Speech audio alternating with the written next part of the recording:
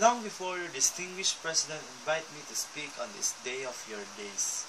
In, fa- in point of fact, as far as the back tender of my childhood, Silliman had been vividly impressed upon my memory.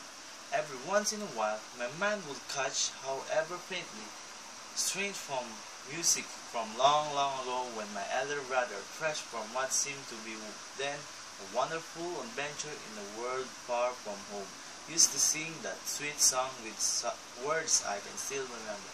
Silliman besides the sea. I felt even as a child that there was some strange fascination in that song, for a restless, unyielding urge to go back to Silliman seemed to possess and haunt my brother all the time. He studied here in what he must have considered the best years of his life, and he has not quite recovered from the incredible charm and magic of this lively, blessed place. Many years later, that is after the Second World War, your then President, Dr. Arthur Carson, learned that I was going to the United States to pursue graduate studies in law and he very kindly gave me a letter of recommendations addressed to two outstanding universities in America. I would like to let you know, and I have been saying that this many a time, that those letters were given the highest degree of consideration because the schools were considered as a university that possessed the highest traditions of scholarships and excellence. When I learned some three years ago that my former classmate and good friend Dr. Calderon accepted the o- offer to become the president of the university, I was happy for you, for your president and this institution. Convinced as I was that was an enduring partnership had been forged and that Silliman could look ahead for even brighter days in the unending quest of truth and goodness and beauty. I am therefore grateful for the opportunity to be with you and your 63rd anniversary. anniversary.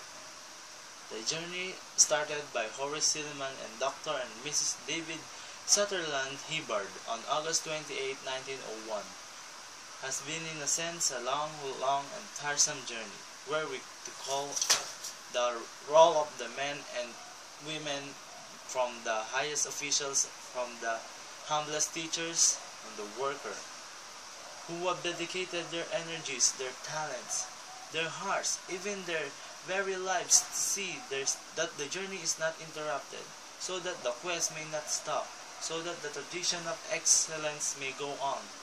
Against seemingly endless odds and obstacles, without number we would have a, fair measure of that kind of quiet heroism that went into making the building of Silliman. But in a deeper sense, the journey had not been long, it has not been tiresome. The journey had just begun, and the thrill and wonder of adventures would never end. Sixty years is a long time, but you are still young, for the language of general was faded away. Youth is not entirely a time of life. It is a state of mind.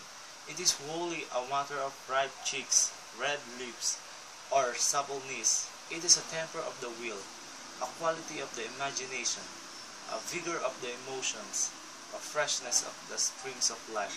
Nobody grows old by merely living a number of days. People grow old only by deserting their ideals.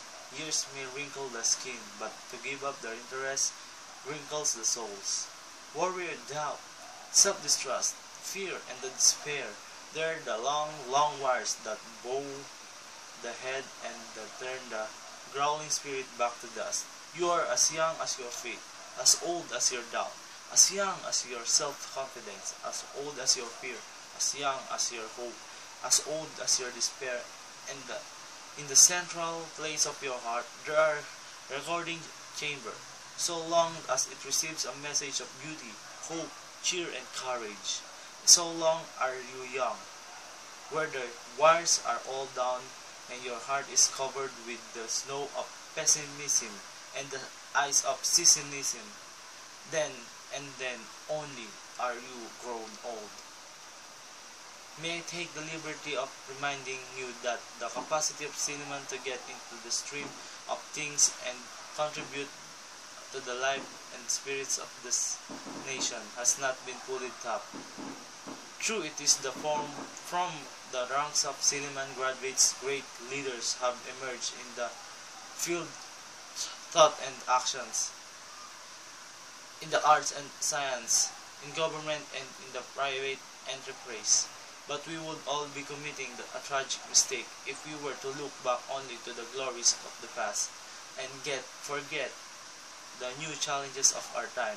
If we were to count in detail its achievements and overlook the massive task that would require you more than just planning and effort, but the vision and the dedication of a lifetime. For when we begin to look around us, we see that amidst the physical reconstructions of towns and cities, the rebuilding of homes and factories and shops there are have quite in a serious case of internal breakdown. Building and edifice have gone up, but the edifice that constitutes the real soul of the nation is beginning to shake, and unless every one of us does something about it, the nation, the national structure may collapse and go down.